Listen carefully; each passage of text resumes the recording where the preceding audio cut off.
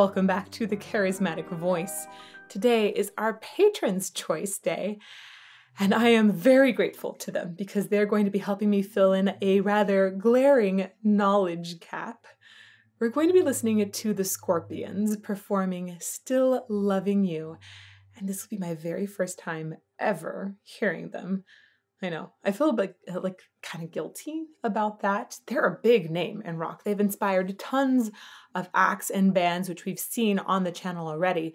They were described by Rolling Stone as the heroes of heavy metal, and MTV called them the ambassadors of rock. So they're a very big deal. And somehow I've yet to hear them. So we're going to change that today. I also just wanted to shout out to all of you that are watching this please do go back and watch the band perform the song all the way through without pauses and interruptions. I interrupt to talk about what's really awesome and how they make these cool sounds. But uh, if you want to get like an appreciation for the song overall, I definitely recommend going back and watching it all the way through on their channel. We always supply a link in the about section of the video, so find that and go and listen to them and support these bands. And now, let's get to lots of pauses and interruptions. Hier sind sie aus Hannover, the Scorpions.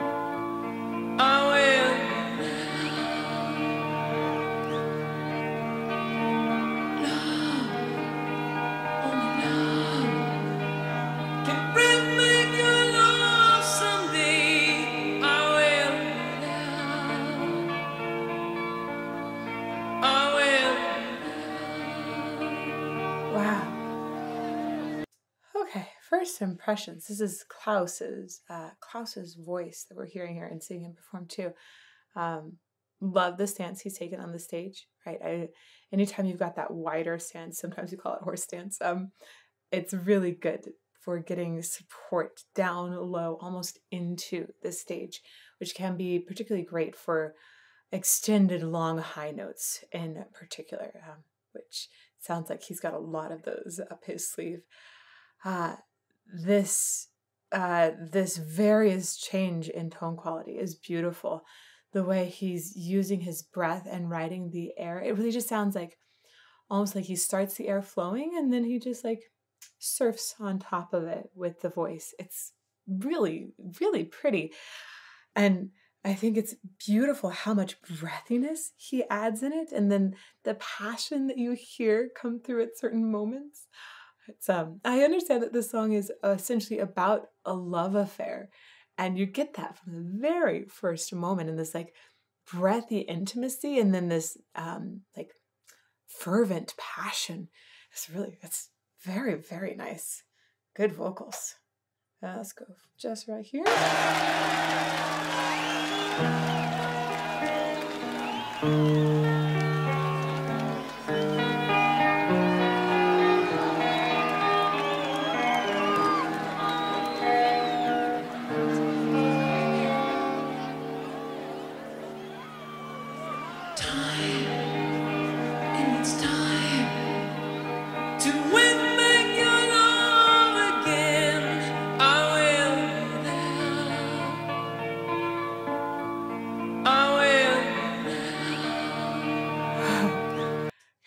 Wasn't sure the first time I heard, but I think that what he's also doing is switching registers to help achieve that uh, timbral change. So when you hear a much softer, um, floatier, airier sound, I think he's using falsetto there.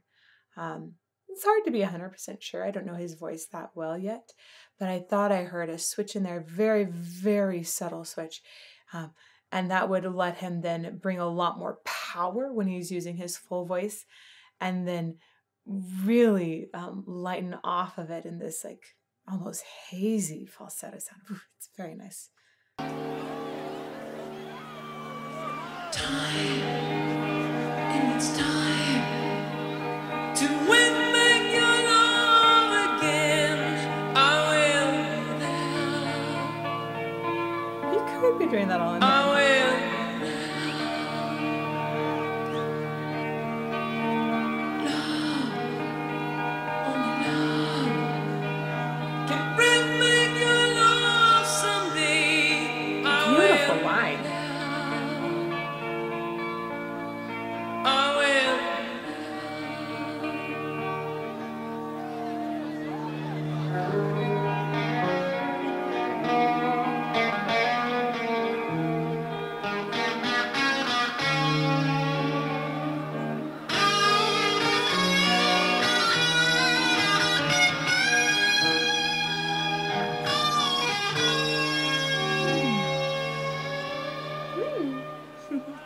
Oh, I I really like the atmosphere that this is creating overall. It um it has like it does have like a steaminess to it. It's uh, it's very um it almost feels like it's hovering in time. It's pretty. Ooh, the pitch side. Fight, baby, fight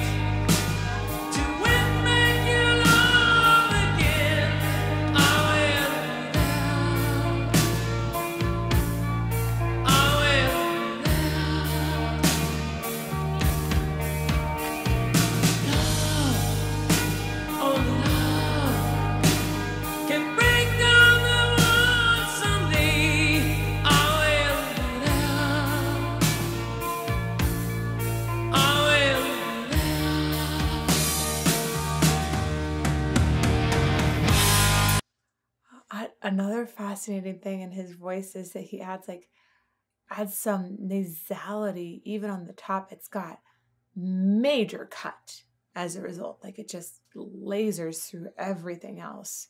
One more time back here. Listen, uh, listen for those moments when he's adding like just like a little bit of nasality. It, it creates even more focus in the sound.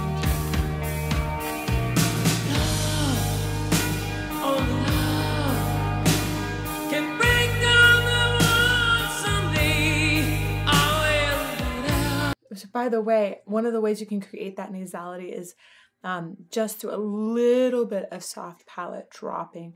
Essentially, if your soft palate is up, the sound is going to exit through your mouth. If the soft palate is down, like all the way down, it's going to exit through your nose on like an M or an N. Mm, right, that's just going through your nose when it exits. So if you're singing uh, like this and you want to add just a little bit of nasality to the sound, drop the soft palate a little bit. A little bit goes a long ways, okay? But it's all about soft palate control.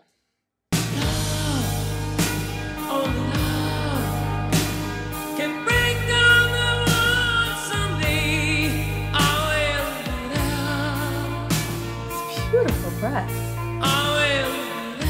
It's almost like he's sighing every time.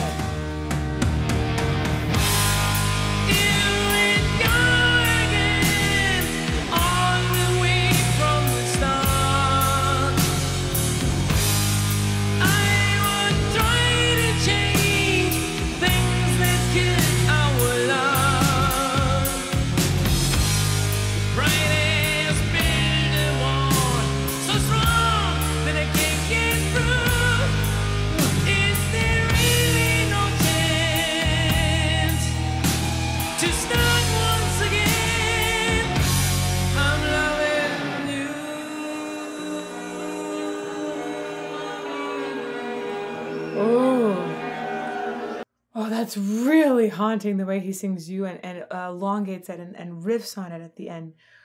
Ooh. Ooh. I like that one. We're going to go back and listen to that a few times, but we're actually going to go back further. A few reasons. Uh, I noticed he doesn't have any shoes on. I've talked already about that stance. Uh, I personally really love singing on stages barefoot because I feel like I can get into the stage more. If you think about your breath support being lower, um, like definitely you should think about your breath support being like down to your hips because the very bottom muscles that can help with the breath support are going to be pelvic floor muscles. But it can be so useful to go further. uh, and think about it going all the way down into the stage, like coming up from underneath the stage. And if a person has really um, is grounded in the stage, that's helpful. Having bare feet can really help with that too. Additionally, having bare feet can help with posture, so that's helpful. I singing in heels is a pain, guys. It's a pain. um, so there's a with okay, I'm gonna explain further. Heels sometimes can cause like a little bit of sway back to happen in women, and if that happens, your pelvis gets out of alignment, so that it's harder to get into that lower breath as well. So anyhow, um, it just adds another complication. I love being barefoot on stage. So I want to go back and listen to the way that he's supporting through super long lines. They're like just gorgeous. And you hear the sound soaring for such a long time without any disturbance in it. That's not got like any like boop jiggles or cuts out. It just like is like a really long, gorgeous line. And that's at least partly due to this fantastic support. Okay. Let's go right here.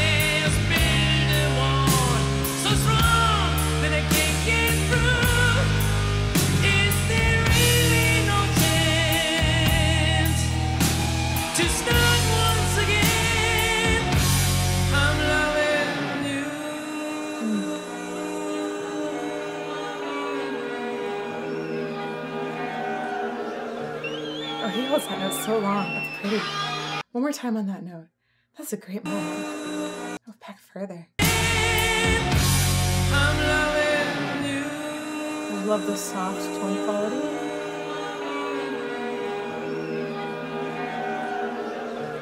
And the vibrato at.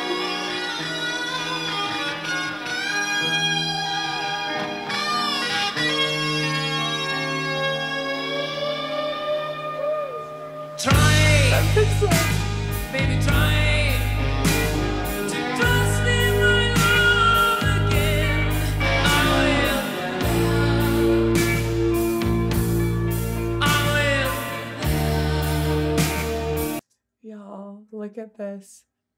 He is working. He's working. He's sweating. Really, really good singing is hard work.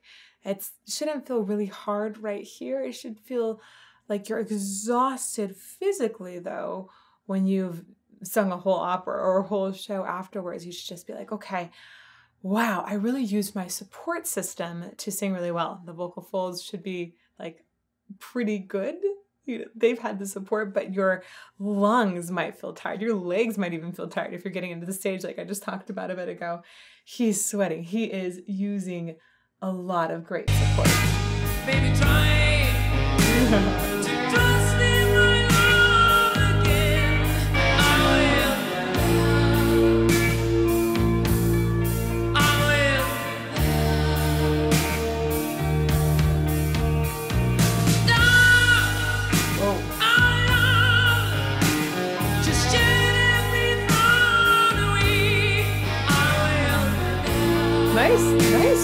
top note there.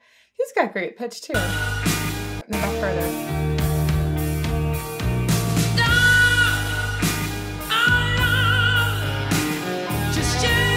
Also, really interesting. The first one, he chooses to do like a little bit of a like a toss off, a a little, just like a hint of a slide off at the end. And the second one, he chooses to put a little vibrato in there. It, I like it when people, um, when they say the same word but give different expression. If you're going to say it back to back, you need to say, or well, sing it back to back really, but you need to sing it with something different the second time. And he's doing that here.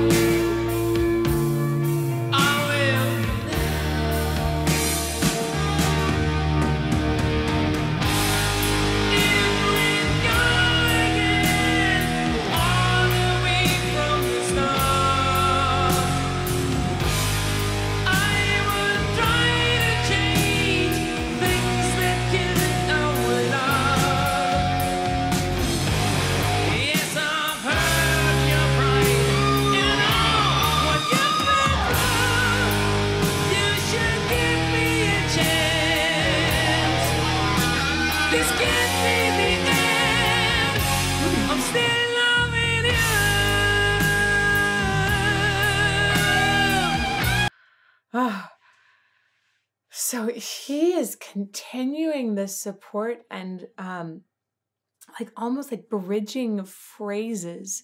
He I love the way he's essentially holding the tension between all of the lines. Even when he stops singing, it almost feels like he's continuing, right?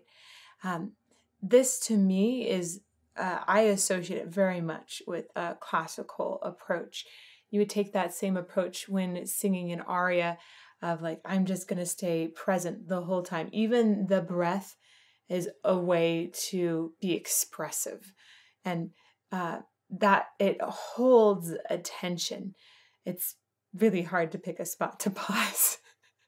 and it, it sounds like like it's just continuously being drawn out from the inside of him. Like we don't ever really have a moment of reprieve. I guess the instrumental solo at one point felt like a little bit of a pause where there was a, a break. But once he starts singing, it's just the energy is continuing the whole time. That is, uh, for me, I think that that is a mark of mastery that I hugely appreciate in good singing. It's fantastic. Let's go back a little bit. Um, just notice the way he's bridging those phrases. It's very interesting.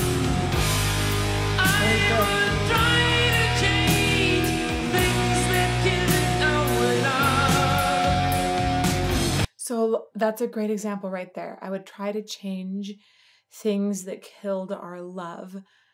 A lot of people, when they were singing this um, the first time, or, you know, maybe if they'd worked on it for a while but didn't know how to bridge the phrase, they would split it into two phrases. They would say, I would try to change the things that killed our love, but he does take that breath in the middle, but he keeps going in a really sensible phrase. I would try to change the things that killed our love. Go back again.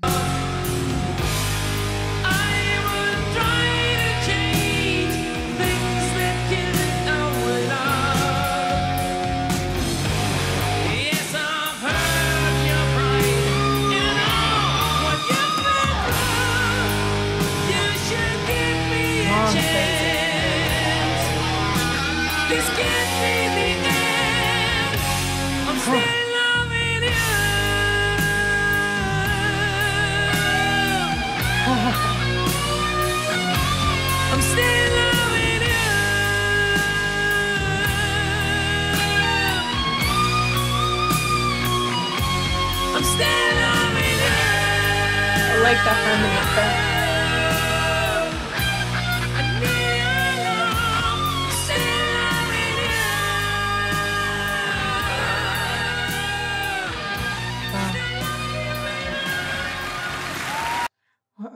just a little bit again. Uh, He keeps it rolling forward. He's repeating, "Still loving you," but it, and it feels like it has. This is perfect for the lyrics too. It feels. I feel that continuation, continuation of energy throughout this whole ending.